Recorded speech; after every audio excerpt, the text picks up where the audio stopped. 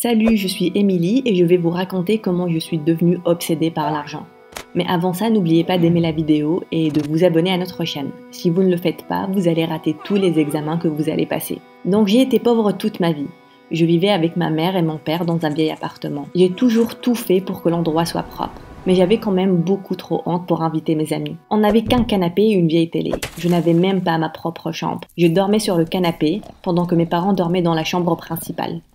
Quand il fallait aller au bal de fin d'année au lycée, je devais créer ma propre robe en utilisant deux vieux t-shirts de mon père. J'ai fabriqué un crop top et une jupe. Je pensais qu'ils étaient mignons, mais quand je suis allée au bal, l'une des élèves les plus vicieuses a dit Oh, regardez, elle porte encore une fois un sac de poubelle. Je suppose qu'ils se sont rendus compte qu'ils étaient vieux. Je ne pouvais pas retenir mes larmes. Toutefois, Trina, l'une des filles les plus populaires du lycée, a saisi ma main et m'a emmenée à l'extérieur. Elle a essuyé les larmes qui coulaient sur mes joues et elle a dit ne leur donne pas d'importance, ils se comportent comme des cons. Et elle m'a ramenée à la maison. Mais pour une raison quelconque, Trina voulait devenir mon amie. Elle m'a invitée chez elle et waouh, elle était tellement riche. J'ai quasiment eu une crise cardiaque en voyant sa grande et luxueuse maison. On a fait le tour et elle m'a demandé de la rejoindre dans sa chambre. Pour la première fois de ma vie, quelqu'un s'intéressait à moi et j'étais tellement heureuse. Mais aussitôt qu'on s'était assise pour parler, Trina a dit Hé hey, Émilie, tu voudrais gagner un peu d'argent? J'ai rapidement répondu Oui, bien sûr, tu as un vrai poste pour moi. Et elle a répondu Oui, j'ai plus ou moins besoin d'une assistante personnelle pour m'aider au lycée et un peu ici. J'avais compris ce qu'elle voulait dire. Elle avait besoin de moi pour que je devienne sa bonne, enfin d'une manière ou d'une autre. Et vous pensez que j'avais probablement refusé. Je veux dire, c'est tellement humiliant de travailler pour une autre élève. Mais oh que non. J'étais sur le coup dès que j'avais entendu le mot argent. J'ai immédiatement accepté et j'ai commencé à faire tout ce qu'elle me demandait. Je faisais ses devoirs, emmenais ses livres d'un cours à un autre, l'attendais dans les vestiaires des filles jusqu'à ce qu'elle finisse sa douche pour lui tendre la serviette de bain. J'ai fait tout ce qu'elle m'a demandé de faire même si c'était débile ou embarrassant. Les autres élèves ont commencé à m'appeler de tous les noms, comme le toutou, le robot, la bonne chip. Mais je m'en foutais, tant qu'elle me payait. L'argent était devenu ma première priorité. Je me suis sentie puissante en ayant l'argent. Et quand ils ont remarqué que je n'en avais rien à faire, ils ont commencé à m'embaucher aussi. Je suis devenue genre une freelanceuse en faisant toutes sortes de choses stupides. Je les conduisais à certains endroits, leur achetais des sandwichs et leur ramenais des cafés. Une fois, j'ai même nettoyé le casier d'une fille durant la pause. Les choses ont fonctionné comme ça durant un moment. Un matin, en allant en cours, tous mes livres sont tombés. Je me suis retournée et mon sac était complètement déchiré. J'ai donc dû tout emporter entre mes mains. Quand je suis arrivée au lycée, l'un des élèves m'a demandé Où est-ce que tu gardes tout ton argent? Pourquoi est-ce que tu ne t'achètes pas un nouveau sac? Espèce de bizarroïde. Je l'ai regardé de travers et j'ai répondu Ce ne sont pas tes affaires. La vérité, c'est que j'ai tout gardé dans un endroit secret. J'avais peur que mes parents prennent tout l'argent. Je l'ai donc bien caché. De cette manière, je pourrais m'en aller de la maison dès que j'aurai mon diplôme. Puis le bal de fin d'année est arrivé, mais personne ne m'a demandé d'être sa partenaire de bal. J'ai donc essayé d'inviter mon crush, Josh. Il est l'un des joueurs de l'équipe de foot et j'avais l'habitude de le regarder jouer quand j'attendais que Trina finisse son entraînement. Une après-midi, alors qu'il était avec ses amis, je suis allée le voir et je lui ai demandé Hey Josh, je peux te parler un instant? Josh avait l'air confus. Il a même demandé C'est à moi que tu parles? J'ai rougi et j'ai dit Oui. Et quand il s'est approché, j'ai demandé Voudrais-tu être mon partenaire pour le bal?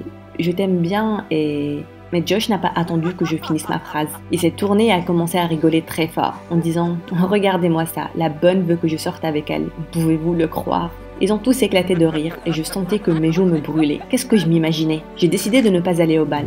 Au lieu de ça, j'ai accepté toutes les corvées à faire cette nuit-là.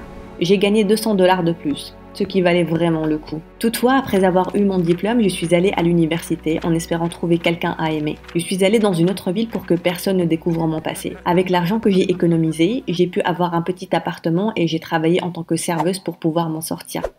J'étais heureuse de pouvoir vivre comme une étudiante normale. J'ai essayé de me faire des amis. Une fois, d'autres étudiants et moi, travaillant sur un projet, ils m'ont suggéré de commander de la nourriture. Je leur ai dit que j'avais mon sandwich et ils étaient cool avec ça. On s'est tous assis pour manger. Quelques-uns d'entre eux n'avaient pas fini leur repas et ça m'a énervé. J'ai donc demandé à l'une des filles est-ce que tu vas manger ce qui reste? Parce que sinon je pourrais le prendre. Je pensais que je leur faisais une faveur en prenant les restes. Vous savez, faire du bien à l'environnement en ne gaspillant pas de la nourriture. Mais ça ne leur a pas plu.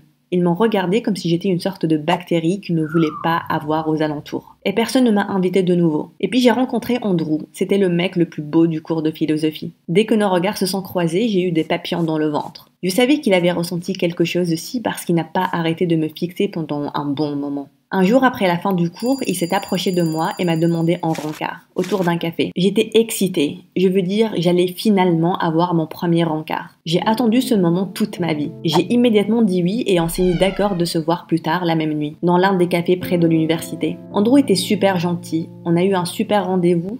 Il a payé pour le café et ça m'a fait plaisir. À la fin de la soirée, il m'a embrassé sur la joue et il m'a demandé d'aller dîner avec lui le week-end suivant. Cette fois-ci, on est allé dans un restaurant super chic et on a passé un bon moment. Andrew n'arrêtait pas de me parler de ses années lycée et comment c'était magnifique. Mais je n'étais pas à l'aise pour partager mes histoires de lycée. Je suis donc restée silencieuse et je l'ai écouté. J'étais excitée d'avoir quelqu'un à qui parler. Mais quand on a fini le repas et qu'il était temps de rentrer, il m'a regardé et a dit donc on devrait partager l'addition. C'était comme s'il m'avait giflé en plein visage partager l'addition Est-ce qu'il se foutait de ma gueule Bien sûr, j'ai répondu. Mais quand j'ai vu l'addition, je me suis presque évanouie. On a eu deux plats pour 50 dollars. Quoi? J'ai murmuré. On aurait pu manger des tacos à 5 dollars et nous contenter de ça. Andrew ne m'a pas entendu. Je lui ai donc dit que je devais aller aux toilettes, mais il se doutait que j'allais m'enfuir.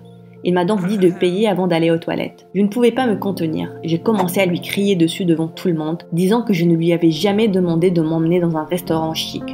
Puis je suis partie, et vous l'avez bien compris, il ne m'a jamais rappelé.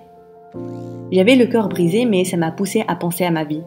Comment suis-je devenue si radine? J'aurais pu payer ces 25 dollars et garder ma bouche fermée. Pourquoi j'en ai fait toute une histoire?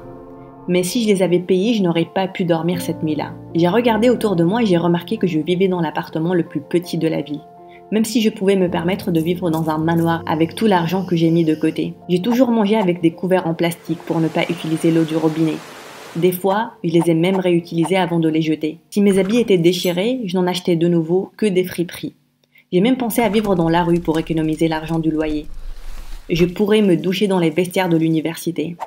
Mon Dieu, j'étais une radine. Oui, au lieu de me sentir navrée ou de me mettre en colère contre moi-même, j'ai fait la paix avec ça. Je suis radine et j'en suis fière. Si Andrew n'aimait pas ça, eh bien tant pis pour lui. L'argent est tout dans ma vie, qu'il l'accepte ou pas. Avec cette mentalité, j'ai commencé à chercher d'autres manières pour économiser de l'argent. J'avais besoin de voir le chiffre grandir sur mon compte bancaire et pas un dollar en moins. Je cherchais de la nourriture dans les poubelles et des fois j'allais au foyer pour sans-abri pour avoir des repas gratuits. J'ai aussi commencé à collecter les bouteilles en plastique dans les rues et les recycler pour avoir quelques centimes de plus. Mais une fois j'ai eu des ennuis à cause de ça. Je me suis rendu compte que l'un des plus grands restaurants gardait ses bouteilles en plastique dans les bennes à ordures, dans la rue derrière. J'ai donc commencé à y aller la nuit pour prendre le plus de bouteilles possible. Une nuit, alors que je remplissais le sac avec des bouteilles en plastique, j'ai entendu une voix bizarre derrière moi qui disait Hé, toi, ne bouge pas. Mon sang s'est glacé. J'ai stoppé net ce que je faisais et je me suis retourné pour voir trois sans-abri. Ils étaient tout sales, leurs vêtements étaient crasseux aussi. L'un d'eux a demandé On se demandait qui nous volait notre part. Qu'est-ce que tu fais ici? Puis, il s'est approché et m'a enlevé le sac de la main et a dit avec un ton sévère Reste dans ton périmètre, sinon tu vas subir les conséquences. J'ai acquiescé et je me suis enfui. Mon cœur battait rapidement,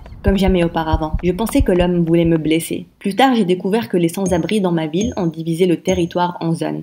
Ils collectaient tous les bouteilles en plastique pour avoir un peu d'argent. Je ne pouvais pas y aller comme ça et collecter les bouteilles comme je voulais. J'ai donc collecté les bouteilles dans la zone avoisinante et j'ai arrêté d'aller à de nouveaux endroits. J'y allais bien, mais j'étais toujours seule. Andrew a raconté à tout le monde ce qui s'est passé. Et comme au lycée, les étudiants n'étaient pas excités de m'avoir comme amie, encore moins comme petite amie. J'ai donc décidé d'essayer les rencontres en ligne. Je me suis inscrite sur l'une de ces applications de rencontres pour trouver l'homme parfait. Mais après quelques recherches, je suis tombée sur quelque chose de mieux. Un groupe Facebook pour les radins. Ce n'était pas une blague. Ils avaient ça dans la description. Nous sommes des radins cherchant l'amour. Droit au but, j'ai murmuré. J'ai immédiatement rejoint le groupe. Le processus était hilarant. Tu dois répondre à des questions sur comment économiser de l'argent quotidiennement. Ils voulaient vraiment s'assurer que la personne était radine. Mais ça m'a conduit à quelque chose d'excitant. Deux jours plus tard, j'ai reçu un message d'un membre appelé Tom, disant qu'il était intéressé par moi et qu'il voulait avoir un rencard avec moi. Où j'ai demandé. Tom a répondu en toute confiance. La plage, bien sûr. C'est gratuit et s'il te plaît, apporte tes collations. J'apporterai les miens. J'étais impressionnée par autant d'honnêteté dès la première fois. Et je n'ai jamais été aussi excitée par un message de toute ma vie. J'étais tellement excitée que je suis allée à une friperie et que j'ai échangé l'une de mes anciennes robes contre une autre. On a eu notre rendez-vous sur la plage durant le week-end. C'était magique d'apprécier le coucher du soleil ensemble. Tom était très beau et on n'arrêtait pas de se parler et de partager nos expériences et nos secrets sur comment dépenser moins d'argent. Mais quand on s'est levé pour rentrer, on a tous les deux remarqué une pièce de monnaie sur le sable. Sans trop y réfléchir, on a tous les deux voulu l'avoir. Tom était plus rapide et il l'a eu en premier. On s'est regardé et j'ai dit C'est la mienne, je l'ai vue en premier, rends-la moi. Mais Tom a refusé. Non, je l'ai vue en premier. Puis il a ouvert sa main et on s'est rendu compte que c'était une capsule de bouteille. On a éclaté de rire en même temps. Et pendant qu'on rigolait, je l'ai regardé.